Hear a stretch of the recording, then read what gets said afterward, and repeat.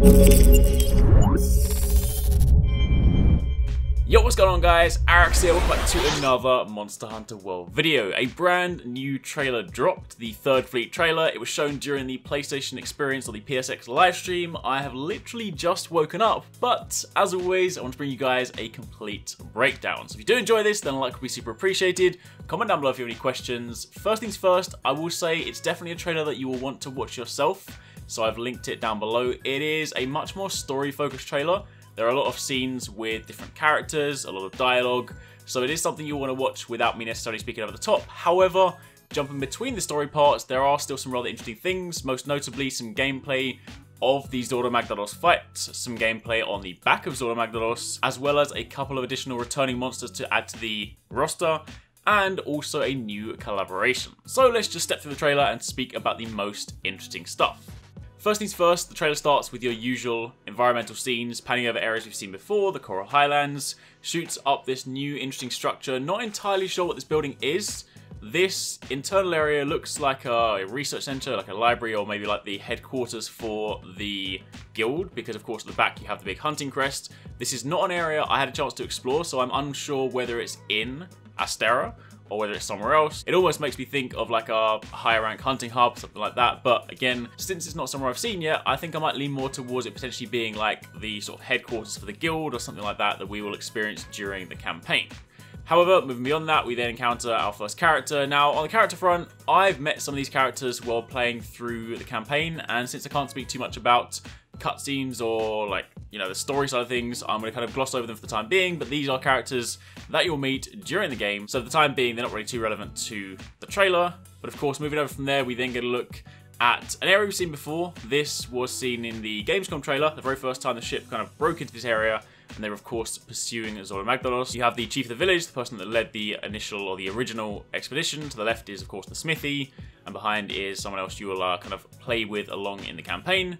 But if we then skip past all of those parts there, because we've seen some of these scenes before, we then get to our very first gameplay segment against Zorah Magdaros. Now, for those of you guys that are new to Monster Hunter, and you wonder how you're supposed to fight a monster that is that big, Typically, whenever you have these large-scale monster fights, they are in more bespoke arenas, and you'll have weapons like cannons and ballistas that you can use to fire cannonballs and effectively ballista bolts. And that is exactly what we see here. You can see the cannon over there to the right, you can see the ballista, and then you get a closer look, you can see that you can move the cannons to adjust them so you can actually line them up with Zorah Magdaros, and you can then load them and fire them at him. So this is typically what you would do if you're like in a situation where you can't really get too close, then this is how you can dish up some damage. And then invariably there'll come a point where you then mount the monster or get close to the monster and then start dealing the damage with your weapons. So that's pretty cool to see. Definitely looks really, really awesome. This is a bespoke stage, so it's not going to be one of those stages you will typically explore yourself. You know, you won't necessarily run around it like you would the Ancient Forest or the Wildspire Waste. This will be one of those maps that you are specifically going to visit when you fight something like Zorah Magdaros. Skipping forward a little bit, we get a few more shots of characters in various different areas. We of course see again more Coral Highlands, then the Rotten Vale. We of course get to meet another character. Remember that some of these characters you will meet when you are out on expedition. There are characters you can just meet simply by exploring the open world and you can then get quests from them when you're out and about. They're typically smaller quests, but again, it's still a chance to interact with different people. We then get to see the big guy himself, Nergigante. Just a little bit more gameplay against him. He does look really Really awesome, pretty big when you see him next to the Hunters as well. We of course have a Hunter here running in in full Rathian gear with Rathian Longsword. And then switched over to an Insect Glaive user there wielding what I believe is the Pukei-Pukei Insect Glaive. To the left is a Hunting Horn user. And in the middle is a Greatsword user wielding, rather interestingly, an Uragaan weapon, which we'll get to in a moment, but that is of course one of the returning monsters. The next scene here, we also get a look at another gun, a light bow gun I believe, but look at the actual gun itself. That is a very different model to anything we've seen up until now. That looks like a shotgun, essentially. They'll still behave the same way, but it's just a very different model to the sort of bog standard light bowgun model we've seen thus far. We also have a look at a hunter on the right-hand side in full Diablos gear with a Diablos charge blade, and the one a little bit closer, a little bit hard to see in truth, especially since I'm watching this video from YouTube, so it's already like downsampled a little bit. If I had a clearer one, I might be able to sort of make that out. So I'll probably revisit this at some point and try and collate all the different armor sets and things we've seen. But but for the time being, definitely at least pay attention to that Uragaan switch axe. And of course, we also see the hunter there, the Insect Glaive Hunter, wearing full Paolumu gear. after that, we actually then get some gameplay of Diablos. Diablos is a fearsome beast. I have fought it in the Wildspire Waste, and at least when I was playing in Japan, it definitely didn't mess around. I was getting pretty much one shot by him, but of course scanning through there, we then get some more shots of the environment, some more characters. We have a hunter wearing the bone gear with a Kulu-Ya-Ku lance fighting a Rathian. You get a chance to see that power guard in action, the guard where you basically sort of sit back and you can then firm and your stamina won't go down while you are power guarding if you get hit. Pretty cool move.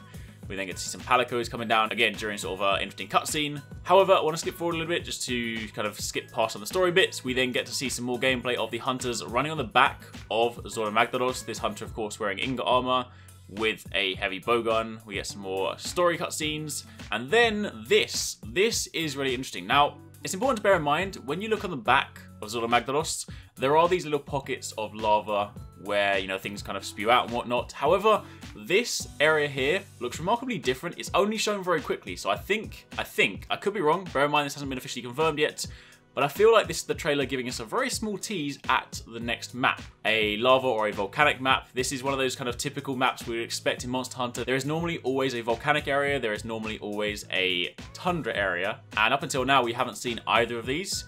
And again, while on the back of Zorah Magdaros there are some lava kind of pockets, this looks a little bit different to that. So I would be willing to bet this is our first tease of a volcanic map. Plus, we're going to look at a couple of returning monsters. That is, of course, Lavasioth, which is the one that Jyuratodus is based off of. It's kind of part of the same family, but this one is a returning monster. And also we have Uragaan, which is again the one that Radobaan is based on, so that is a second returning monster. We also saw, of course, the Switch Axe earlier was made from Uragaan parts.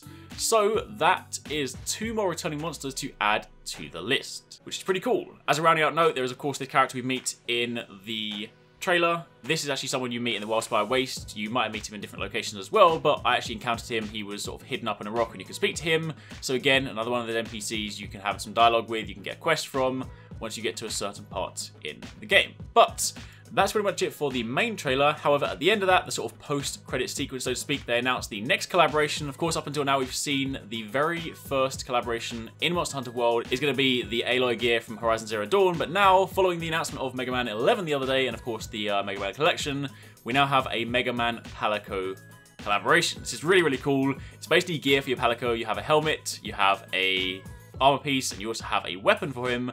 He has sound effects. He's got this cool sort of cel-shaded retro look to him. It doesn't necessarily fit in with the actual overall theme, but this is kind of what Monster Hunter does. It does these wacky collaborations. It just looks really cool. You know, when he's fighting, of course, you have the sound effects, you have the visuals, and also there are some accompanying theme tunes that can go along when you're using some weapons. So basically, for the Mega Man fans out there, this is a chance for you guys to get some of that in your game. So, that's pretty much it. That is quick breakdown of the trailer. As mentioned, there are a few things that I do want to go over in slightly greater detail. I want to see if I can try and get a higher resolution version of the trailer to take a look at some of those armor sets. But for the time being, that is pretty much it. If I missed anything, then by all means, let me know in the comments down below. Bear in mind, I have just woken up, so it's possible I might have missed a couple of things, but for the time being, that is your breakdown. Thank you very much for watching. Take it easy. Catch you next time. Peace out.